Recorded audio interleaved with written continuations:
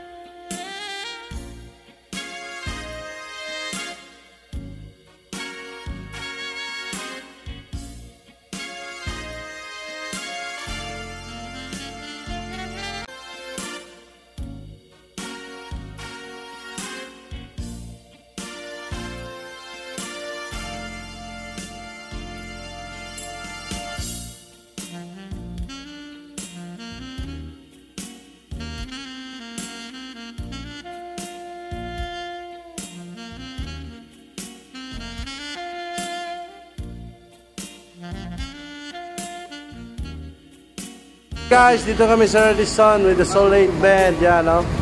Ah, dito kami sa taas kasi ano dito, maganda view dito. Thank you, Mason, for inviting us. Ah, dami kasi nila. Ah, kaya dito kami. Ganda dito sa Radisson Blue.